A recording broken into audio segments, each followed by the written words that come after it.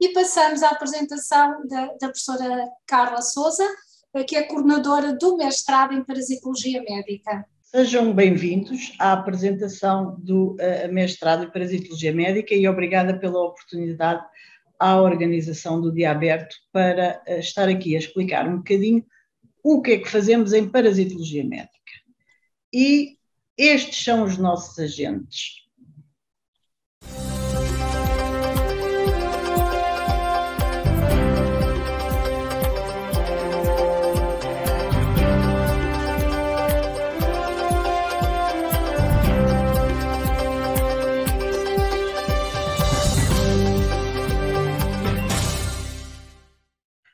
Portanto, tal como a minha colega disse, o meu nome é Carla Souza, eu juntamente com os meus colegas Isabel, João, uh, Henrique, Luzia e Silvana, uh, somos a comissão científica uh, deste, deste mestrado. A palavra que se centra neste mestrado é saúde humana global, mas no mestrado de parasitologia médica nós incidimos essencialmente em doenças infecciosas, que incluem as grandes patologias tropicais, mas que infelizmente hoje em dia já não estão tão restritas às regiões tropicais como estiveram eh, no passado, ah, mas também doenças emergentes, algumas arbovíricas, que vocês de certeza já ouviram falar, como o caso de Zika, ah, dengue e chikungunya, e também doenças negligenciadas cujos agentes patogénicos são ah, parasitas, que é o caso da mucocercose ou da xistossomose.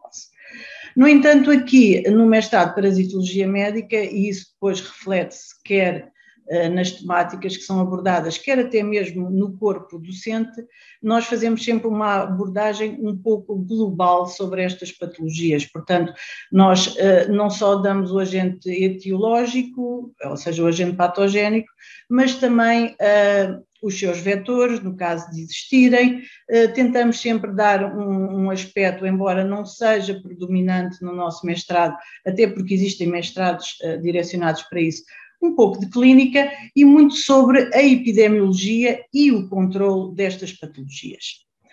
Os nossos alunos são muitas vezes estudantes que vêm, ou seja, pessoas que terminaram o primeiro ciclo, a licenciatura, e chegam-nos aqui estudantes muito de origens muito variadas, no sentido em que temos farmacêuticos, eh, pessoas que se formaram em análises clínicas, eh, veterinários, biólogos, eh, médicos, enfermeiros, mas para além de, destes, destes, profissionais ou destes estudantes que, que, pretendem prosseguir os seus estudos, nós também vamos encontrar dentro dos nossos alunos já pessoas inseridas na área da investigação e profissionais, nomeadamente profissionais na área da saúde.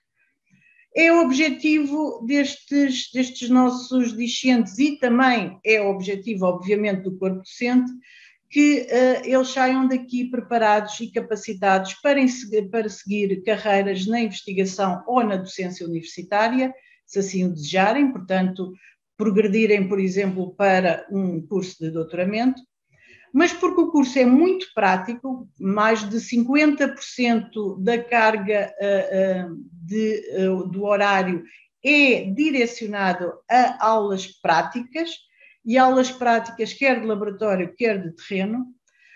nós queremos que os nossos alunos saiam daqui capacitados para fazer diagnóstico, vigilância e controle, quer de parasitoses, quer de arboviroses, ou seja, eh, neste caso estamos aqui a falar numa área da microbiologia, os vírus, mas que são eh, agentes patogénicos que provocam doenças humanas ou, por vezes, também eh, doenças nos animais, mas que são transmitidos por vetores.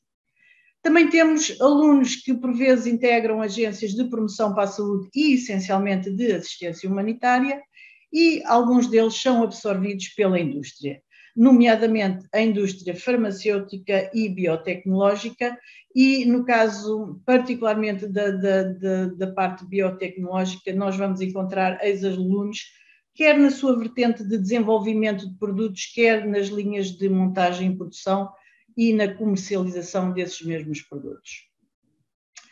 O plano curricular do mestrado, portanto, é constituído por oito unidades curriculares obrigatórias.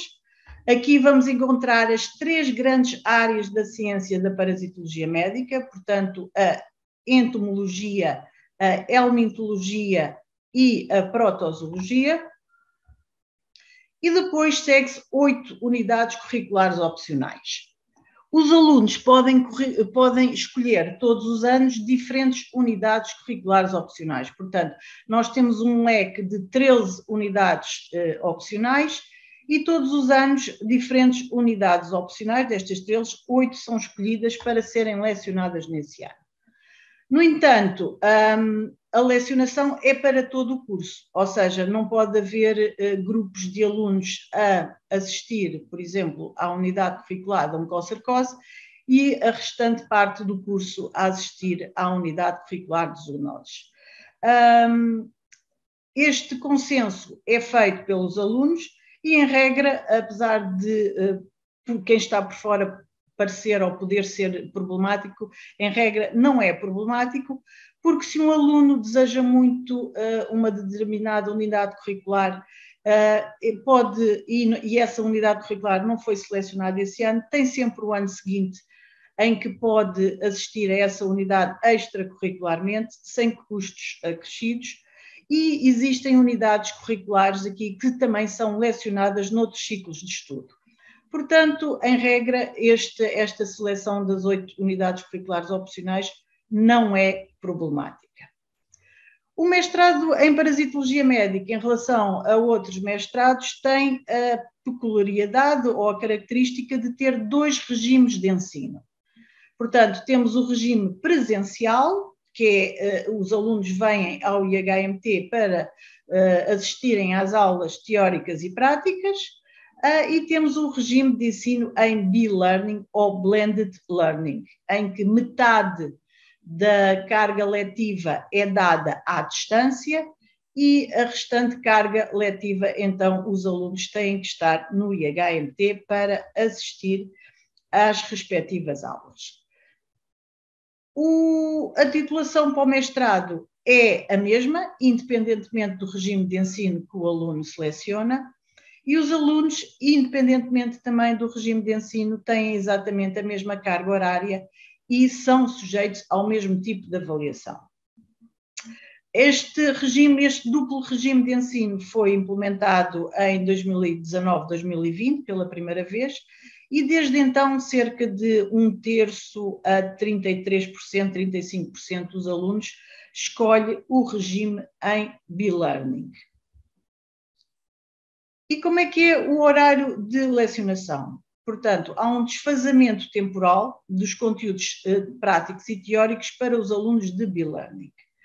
Assim, em relação às unidades curriculares obrigatórias e para os alunos eh, em regime presencial, os conteúdos teóricos são sempre lecionados à terça-feira e os alunos podem estar presencialmente em sala de aula ou a assistir via Zoom, tal como nós estamos agora aqui um, a fazer a apresentação do mestrado pela plataforma Zoom.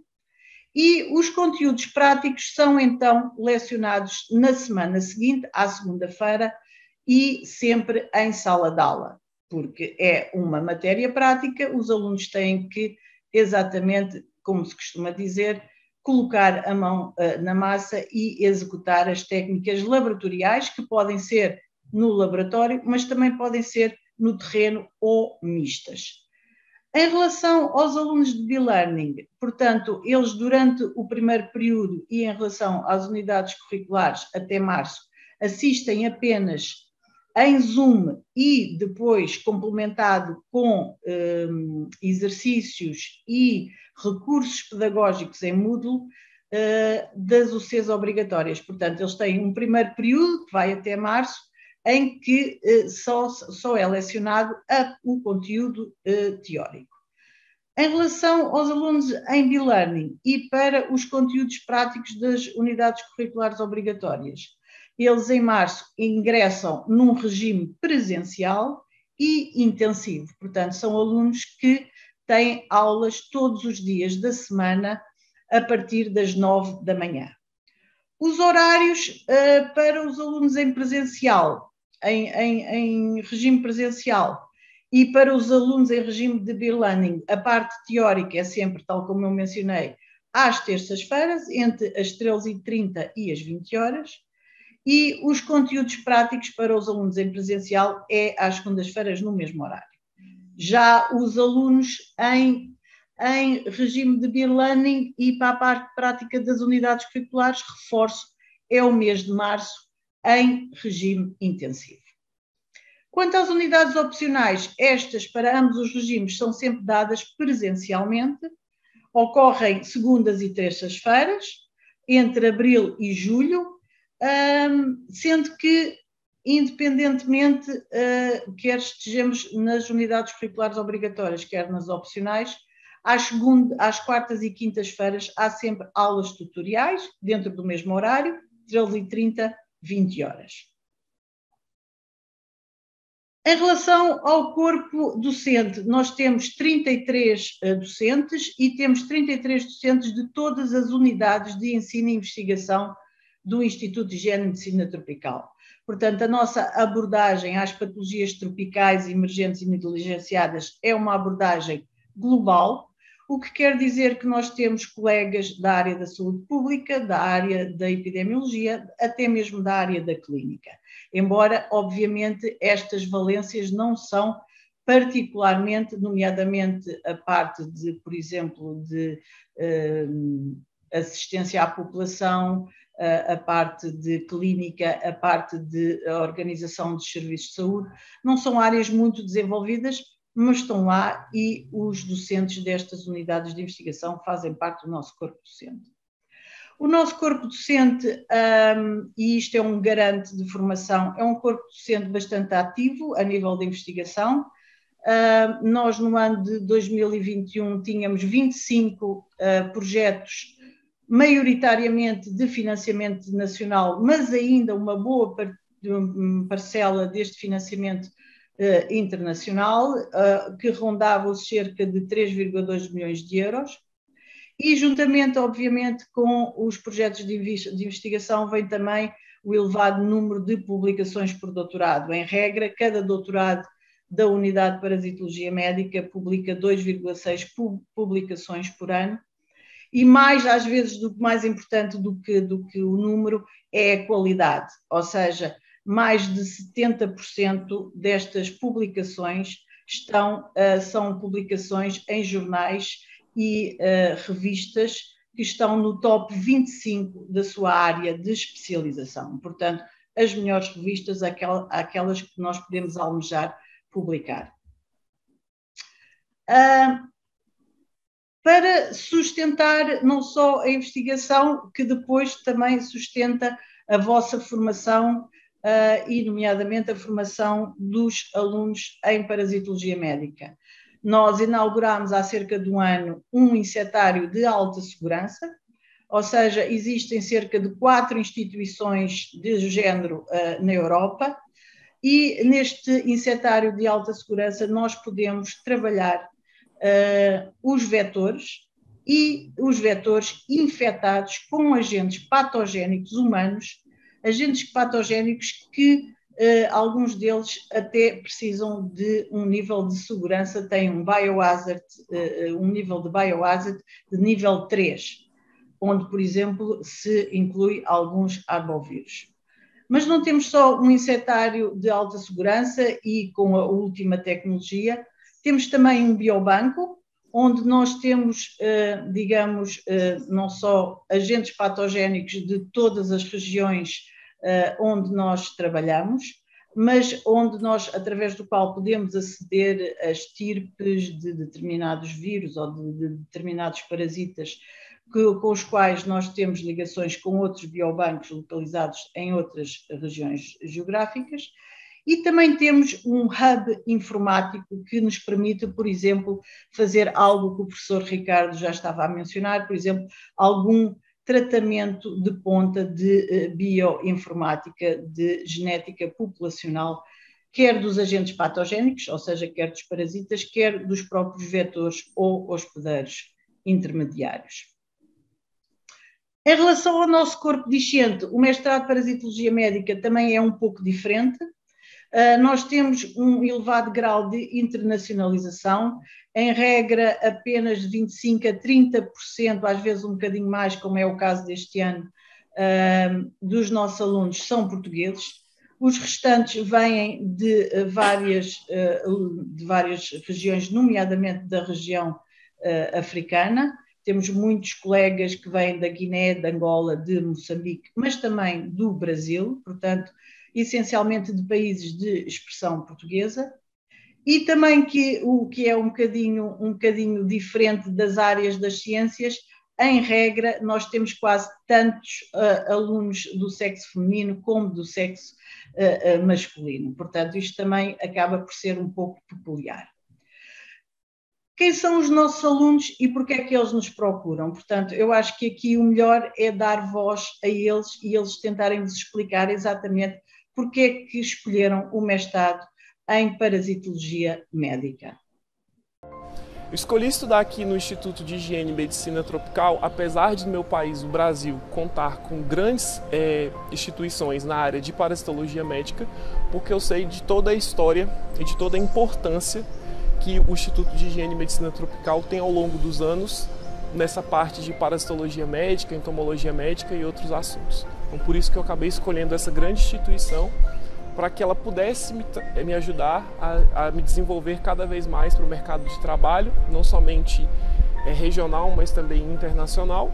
Já vi aqui no Instituto muitas coisas que a gente pode melhorar lá nos nossos laboratórios, nas nossas instituições. Uh, espero futuramente, quando eu voltar, poder contribuir sim para o desenvolvimento de muitas técnicas e outros conhecimentos diversos, partilhar isso também com os meus colegas e ver isto ter um impacto positivo na comunidade onde estou inserida e não só, como pelo país. Estávamos a estudar online e agora estamos aqui já há um mês já fazendo prática e fizemos muita coisa boa e espero que com esses conhecimentos que eu adquiri aqui vou poder ajudar, ajudar os técnicos, ou seja, de laboratório, os que estão no campo. Surgiu em mim uh, aquele desejo de também juntar-me aos, aos demais alunos uh, deste instituto que, que estão no curso de parasitologia médica com o objetivo de reforçar né, os conhecimentos que já tenho sobre esta matéria de parasitologia. Uh, essa troca é muito boa porque a gente consegue crescer muito, porque o brasileiro, apesar de, de falar português também, uh, há muita coisa diferente entre, entre Brasil e Portugal. Então aqui eu consigo aprender como as pessoas lidam com, com o dia a dia, é, aprender a educação das pessoas e também uh, trazer conhecimentos para eles e e adquirir conhecimentos deles também. Como se sabe, há imensas doenças que neste momento são negligenciadas a nível mundial e com este mestrado uh, espera-se formar grandes profissionais para que possam ter um impacto a nível de investigação e, e estudo destas doenças e possíveis terapêuticas e, e, métodos de contenção destas doenças e portanto é isso que fazemos aqui um bocadinho, estamos a aprender para no futuro sermos nós realmente na linha da frente destas doenças e podemos impactar de uma forma relevante. Pronto, era um bocadinho isto que eu vos tinha para apresentar. Um, portanto, eles falaram dos diferentes aspectos, inclusive é o aspecto do e-learning, que é importante para alguns, nomeadamente uh, para quem vem do estrangeiro e por vezes tem que ficar algum tempo à espera de vistos para ingressar uh, no, no, mestrado. Uh, os modos de ingresso eu não vos vou saturar porque está tudo no site do IHMT e é muito semelhante, é em tudo semelhante aos dos nossos colegas. Talvez um, realçar que eu não sei se todos os mestrados fazem, em regra, os nossos alunos são entrevistados todos individualmente antes de ser aceito, mas a primeira, a primeira seleção é uma avaliação curricular e os, os documentos a, integra, a entregar é, são exatamente os mesmos para qualquer outro mestrado do IHMT. Um, se tiverem dúvidas, está aqui o meu e-mail. uh, podem me contactar diretamente. Eu vou fazer o stop share. Um, já tens aí uma. uma já tenho aqui, já tenho aqui. Um, é assim, a candidatura em B-Learning é uh, exatamente como a candidatura normal, só que na carta de recomendação uh, nós fazemos, uh, pedimos que as pessoas façam referência que querem regime em B-Learning. De qualquer das maneiras, este aspecto é sempre salientado durante a entrevista, porque, tal como eu mencionei, nós entrevistamos todos os nossos candidatos durante o processo de seleção. A pergunta é: a disciplina opcional que não é escolhida no ano letivo do aluno e é uh, escolhida no ano seguinte, não tem custo adicional. Mas a pergunta é: é avaliada essa disciplina e é considerada no diploma? A disciplina é avaliada, mas vai extra diploma. O que é que isso vos serve? Por exemplo, uh, essa disciplina pode seguir. Primeiro, é uma formação complementar, não é? E vocês vão receber um diploma extra, o vosso diploma de mestrado, a dizer que frequentaram, qual foi a vossa, e que tiveram aprovação e qual foi a nota de aprovação nessa disciplina. E depois, para além de fazer parte do vosso currículo, como uma disciplina extra diploma, pode servir especialmente para quem quer, eh, eh, no fundo, eh, seguir a via académica ou a via de investigação e depois transita para um doutoramento, embora isto haja variações entre escolas e entre universidades, muitas vezes essas disciplinas podem ser utilizadas para fazer creditação de competências num novo ciclo de estudos. Tens mais uma questão, Carla? Um enfermeiro que termina o curso em que pode trabalhar?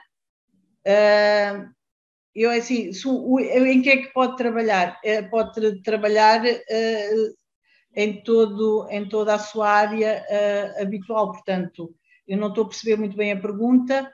Deve ser, pode, por exemplo, ter mais um papel mais ativo, não, não ao nível, por exemplo, da assistência hospitalar, mas ao nível da assistência laboratorial, por exemplo.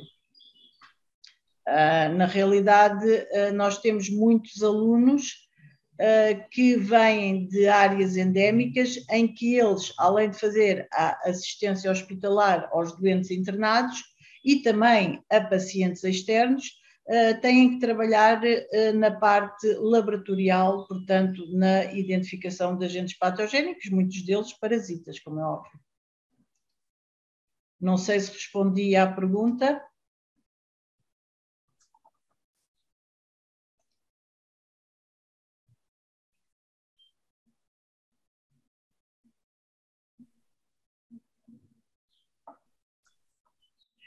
Uh, terminando o curso, o aluno sai com a graduação em parasitologia médica, ok?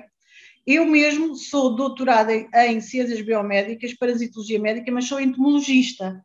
Uh, o entomologista forma-se depois, dependendo da área de onde escolhe a tese, não é? Obviamente, porque uh, as teses, o ano de tese, portanto, eu mostrei-vos o ano curricular, depois temos um ano para teses, Uh, e a tese pode ser numa das três grandes áreas, pode ser na helmintologia, na protozoologia e na entomologia. Obviamente que quem faz a tese em entomologia fica de alguma maneira vinculado a uma especialização mais direcionada para a entomologia. Uh, nós, na realidade, não existe, uh, ainda não existe um mestrado em entomologia. Nós vamos iniciar um mestrado em entomologia provavelmente para o próximo ano letivo, mas que nem se chama diretamente entomologia, é biologia e controle de vetores. Isto tudo para dizer que nem eu sou verdadeira, só sou verdadeiramente entomologista devido à minha atividade, não devido ao meu, ao meu grau. Então, qualquer questão que tenham, eh, contactem a professora Carla Souza, eh, com outro tipo de questões, contactem a, a divisão académica. Muito obrigada pela vossa presença Obrigada, professora Carla. Obrigada Eu convido, convido todos os presentes a assistirem uh, ao dia aberto para além dos, dos webinars, portanto há várias atividades que vocês podem uh, ter acesso através do link do dia aberto, assistam a tudo aquilo que nós vos apresentamos. Obrigada e a próxima, a próxima apresentação do mestrado é ao meio-dia e meia.